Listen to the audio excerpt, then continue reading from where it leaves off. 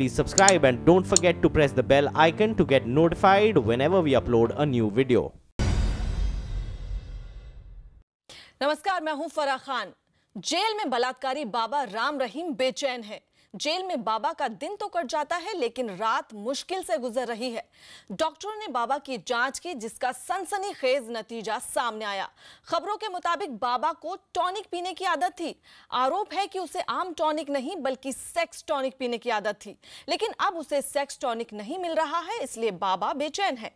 News 18 India को दिए exclusive interview में बाबा की इस बीमारी का राज उस साध्वी ने भी फाश किया है, जिसने उसकी करतूत को करीब से देखा है।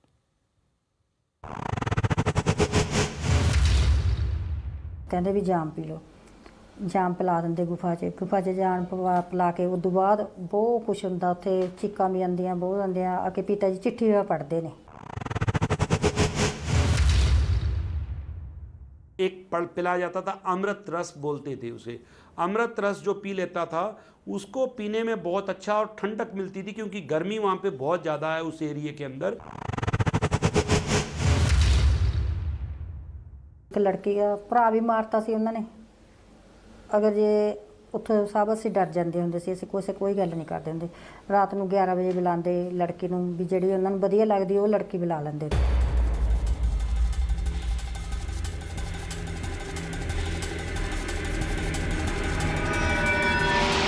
ये राम रहीम के टॉनिक का असर था कि वो अपने डेरे में जिससे भी जबरदस्ती करता था वो कुछ कह नहीं पाता था जब वो पीते थे तो ठंडक मिलती थी, लेकिन अंदर की अंदर वो आदमी पूरा का पूरा कमज़ोर होता जाता था, उसका दिल सच्चाई देख के भी बयान करने की हिम्मत नहीं कर पाता था। राम रहीम अपने डेरे में बहुत गुपचुप तरीके से साध्वियों को ज़बरदस्ती का शिकार बनाता था। आरोप है कि जो भक्त उसकी करतूत के बारे में जान भी जाते थे, वो भी बाहर आकर उसके बारे में कुछ बता नहीं पाते थे।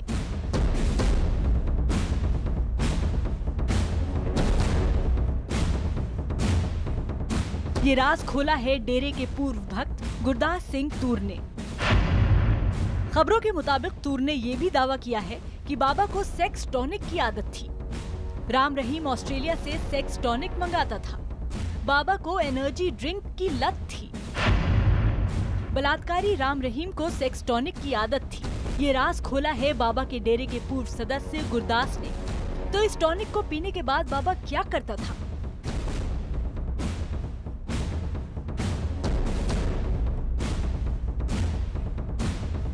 इस राज का फाश किया उस साध्वी ने जिसने बाबा राम रहीम को बहुत करीब से देखा।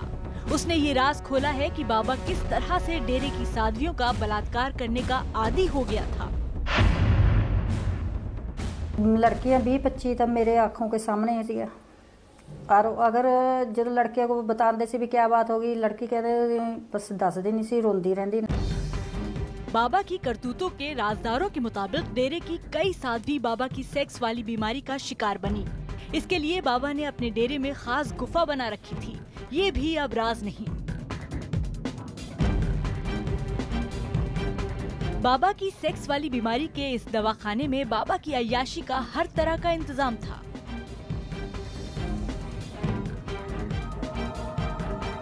सब कुछ है जी, होटल मंगू पूरा जेडे पूरा होटल मंगवाया तो अंदर। जिम्मे भी है भी कोई चीज़ की कमी नहीं, कोई भी सब कुछ बेड बुड सारा कुछ है जेल की चार दीवारी के भीतर न उसे सेक्स टॉनिक मिल रहा और न ही उसकी भूख मिट रही है।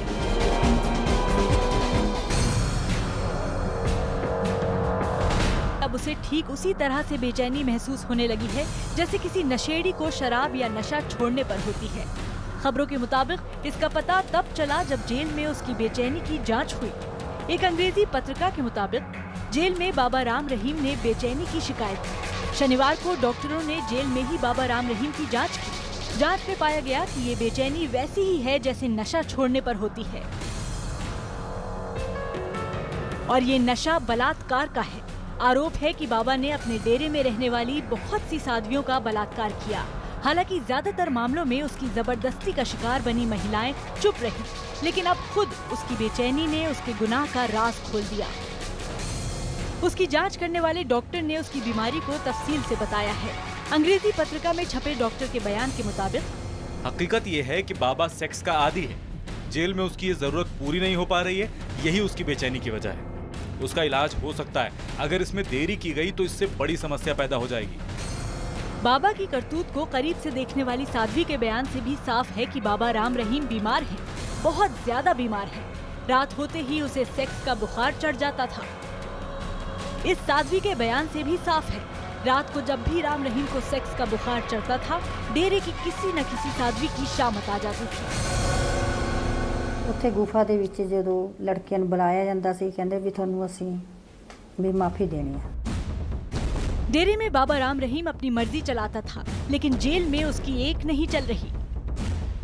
उसे अपनी मुबोली बेटी हनीप्रीत को भी साथ रखने की इजाज़त नहीं मिली, और जेल में बाबा को सेक्स का वो टॉनिक भी नहीं मिल रहा है, जिसका वो आदि था। आरोपों के मुताबिक विदेशों से एनर्जी और सेक्स टॉनिक मंगाने वाला बाबा राम रहीम बड़ी ही चालाकी से डेरे की साध्वियों और लड़कियों को अपना शिकार बनाता था। इसके लिए उसने अपने आश्रम में कई तरह के इंतज़ाम कर रखे थे। लड़कियों को शिकार बनाने के लिए बाबा ने जो भी इंतज़ाम किए थे, उनका राज तब खुल गया जब बाबा के डेरे की तलाशी ली गई।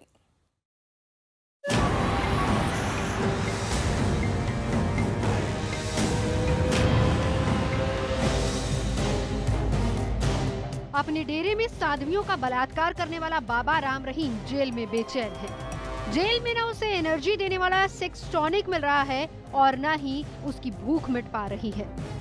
जबकि आरोप है कि डेरे में वो बेलगाम था। एक छुपी गुफा से वो साध्वियों तक पहुँच जाता था।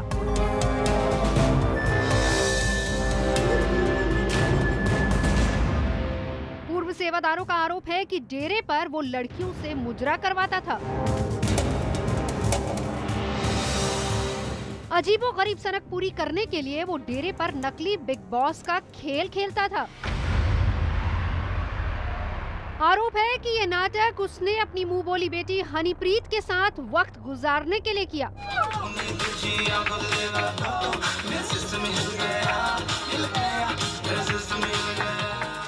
गुरमीत रामरीम खुद उसको होस्ट करता था और उस तरीके से सारा कर कर के लोगों को कुछ नहीं बताया और 20 दिन तक ये अंदर ही रहे और 20 दिन के बाद ये बाहर निकले लेकिन जेल ने बाबा से उसका टॉनिक छीन लिया उसका रास फाश करने वाली साध्वी का आरोप है कि सेक्स का ये टॉनिक वो साध्वियों को डरा धमका कर हासिल करता था ਡਰ ਡਰਾਇਆ ਵੀ ਜਾਂਦਾ था जो लड़कियों का गलत काम चुप रहे ਹਾਂ, हैं ਹਾਂਜੀ ਹਾਂਜੀ ਬਹੁਤ ਡਰਾਉਂਦੇ ਹੁੰਦੇ ਸੀ ਵੀ ਤੁਹਾਡਾ ਭਾਈ ਮਾਰ ਦਾਂਗੇ बाबा के डेरे में हजारों भक्त रहते थे इसीलिए वो हर गलत काम गुपचुप तरीके से करता था। ये राज तब सामने आ गया जब 900 एकड़ में फैले सिरसा के डेरा सच्चा सौदा की पिछले हफ़्ते छानबीन हुई। जाँच टीम को राम रहीम के डेरे में एक छुपी हुई गुफा मिली। ये गुफा साध्वी निवास तक जाती थी। हरियाणा सरकार ने भी इसकी पुष्टि की। डेरावास में एक रास्ता मिला है। एक विंडो नुमा विंडो नुमा रास्ता है जो जो रास्ता साध्वी निवास की तरफ़ जाता है। ये गुफा एक इमारत की तीसरी मंजिल पर थी। धोखा देने के लिए इसका दरवाज़ा एक खिड़की की तरह बनाया गया था। लेकिन ये रास्ता सीधे साध्वियों के ठिकाने तक पहुँचता था। इसीलिए बड़ा सवाल है, क्या साध्वियों के कमरों तक जाता था राम रहीम? क्या साध्वियों को बाबा के कमरों तक पहुँचाया जाता था? बाबा का राज जानने वालों का तो ये भी दावा है कि एक गुफा सीधे गर्ल्स स्कूल तक भी जाती थी। अगर ऐसा मिला है तो बिल्कुल क्लियर है कि अगर ऐसा रास्ता मिला है तो तो काफ़ी हद तक क्लियर है कि गुरमीत रामरीम छुप के दुनिया से बचकर औरतों को, लड़कियों को साधवियों को, स्टूडेंट को उस रास्ते अपने पास बुलाया करता न्यूज़ 18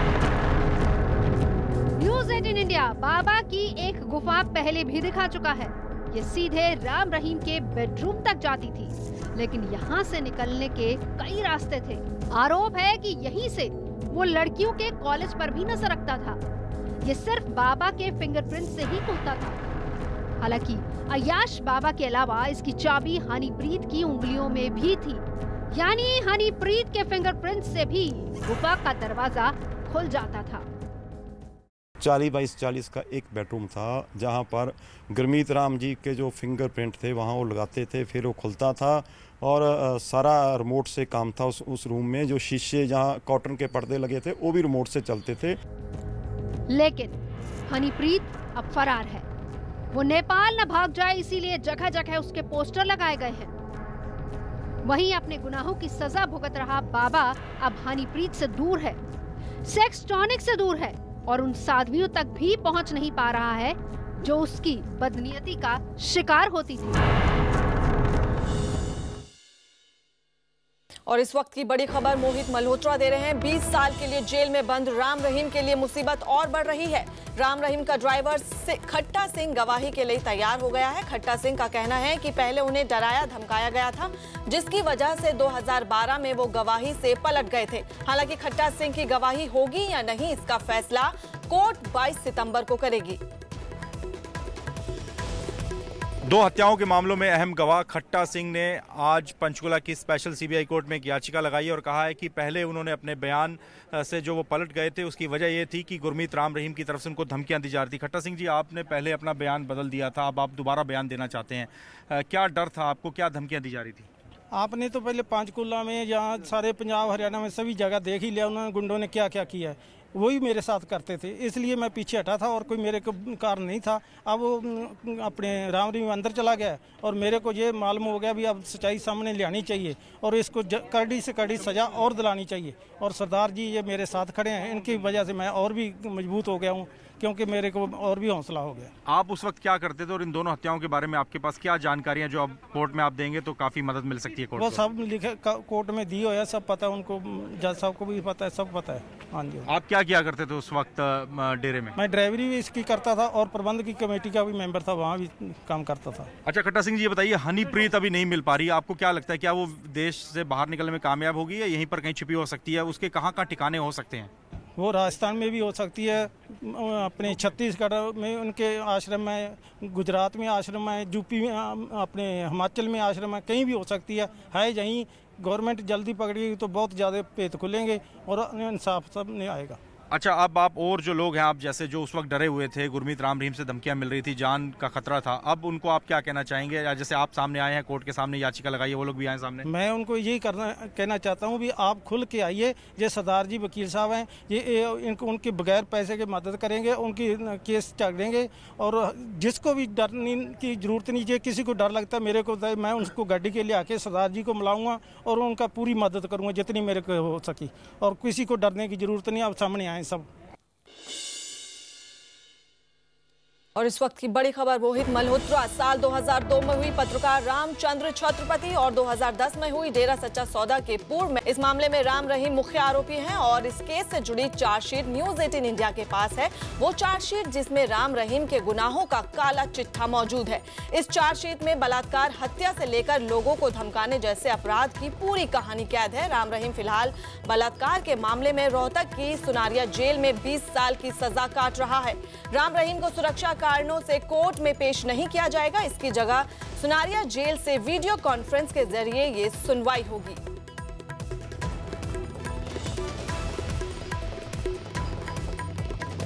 सेक्टर एक में पूरी तरह से हमने सिक्योर कर रखा है।